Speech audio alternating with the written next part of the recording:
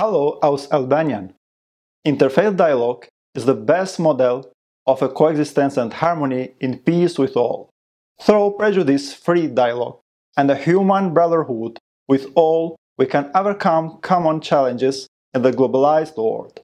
Love, tolerance, harmony, and acceptance of the other as it is are medicines for diseases of today's society, like selfishness, ethnocentrism, racism, Islamophobia, anti-Semitism, and religion phobia in general. I believe that the House of One project in Berlin would be a concrete model of a common home where everyone in their faith would pray for more love, peace, and solidarity in our common home, the world, which is a precious gift given by God to his most perfect creature, the human. Danke.